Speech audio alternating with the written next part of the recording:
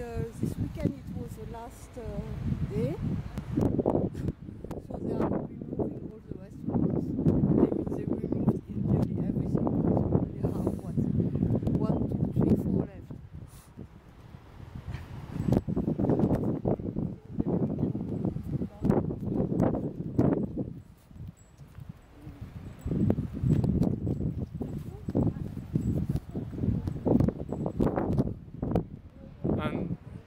the people that lives here lives here does not rent the houses for the summer or?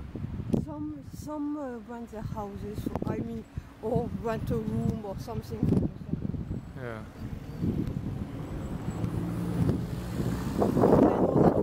When i go on holidays i don't rent my house.